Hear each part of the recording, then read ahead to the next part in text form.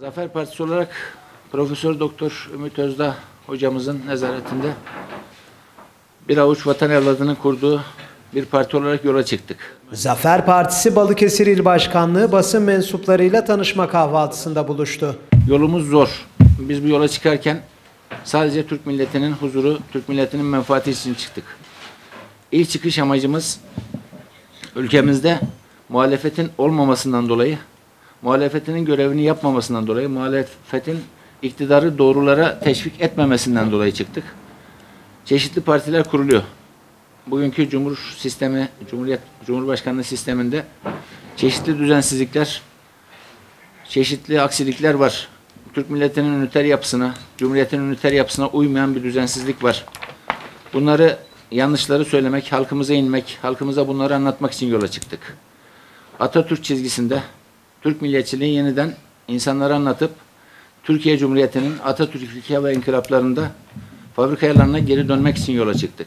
Zafer Partisi Balıkesir İl Başkanı Suat Aydın toplantıda partinin kuruluş amacı ve hedeflerini anlattı. Biz günümüz şartlarında bugünkü Cumhur İttifakı'nda iki ittifaka da eşit derecede ortadayız. İki ittifakla da işimiz yok. Biz Türk milletiyle ittifak yaptık. Yani Türkiye'de dengelerin HDP üzerinden yönlendirilmemesi için, HDP'ye muhtaç olunmaması için yola çıktık. Bu memleketin evlatları, bu vatanın evlatları kimsesiz olmadığını, bu vatanın kimsesiz olmadığı, bu vatanın evlatları olarak yola çıktık. Bu yola çıkarken yolumuzun çok zor olduğunu biliyoruz. İmkansızlıklar içinde olduğumuzu biliyoruz.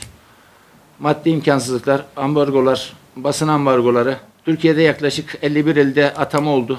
36 ilde Yargıtay'dan kararnamemiz çıktı. Yavaş yavaş büyüyoruz, yavaş yavaş ediyoruz. Daha ortada parti yokken, herhangi bir yapılanmamız tamam hazır değilken, anketlerde yüzde bir, yüzde iki, yüzde iki buçuğa kadar çıkmalarımız oldu. Gençlik yeni nesil Z kuşağında. Gençlerimiz bazı şeylerin, gerçeklerin farkında. Türkiye'nin durumunun farkında.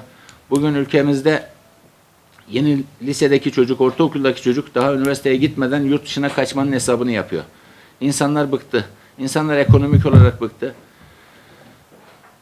Bu durumu insanlara yanlış anlatmak için, memleketimize, insanlarımıza doğru yolu göstermek için hep beraber taşın altına elimizi, bedenimizi, maddi manevi bütün gücümüzü koyduk.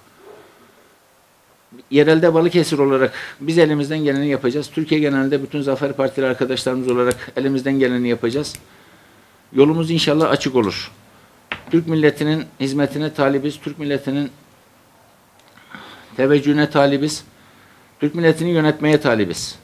Küçük şu anda küçük ve ismi duyulmayan bir parti olmamıza rağmen biz buna inanıyoruz. İnsanların bizi anlayacağını, sahaya indiğimiz zaman bizim gerçek duygularımızı herkesin halkta karşılık göreceğini biliyoruz. Yani biz vatanın toprağını basmaktan korkarken, bayrağımızın altında olmaktan mutluyken yarın öbür gün Suriye bayraklarının Türkiye'de daha fazla dalgalanmasını, daha fazla çarpması için bunların vatanlarına geri dönmesi lazım. Çünkü herkesin yeri vatanıdır. Türkiye tatil köyü değildir. Suriyeliler Suriye'ye ilk amacımızdır.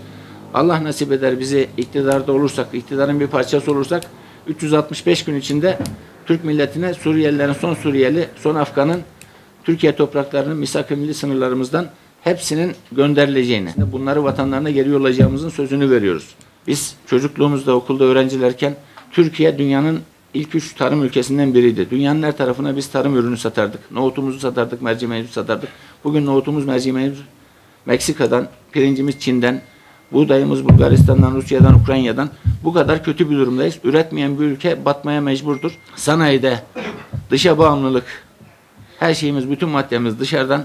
Bugün siyahlarımız, gurur kaynağımız, onların bile malzemesi dışarıdan geliyor. Bu, Türk milletinin yeniden bir şahlanış, yeniden bir Kuvayi Milli Hareketi, yeniden bir İttihat Tarihi Hareketi, yeniden Kurtuluş Savaşı yazmak için bu yola çıktık.